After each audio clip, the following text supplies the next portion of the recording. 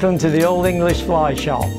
We're located down in Marathon and if you're in the Keys and you need any fishing tackle at all, like uh, new TFO rods, reels, flies, we carry a large selection of flies, but my favourite is the antiques. So if you want to come and see antique fishing memorabilia, just come and see me and I'll talk for hours about it. We also specialise in bamboo fly rods. I make them in six, four, five, six weight. And we also sell the ferrules, reel seats, cork handles, and also the blanks.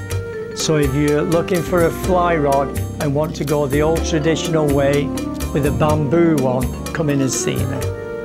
We also carry a large selection of saltwater flies and fly tying material if you want to make your own.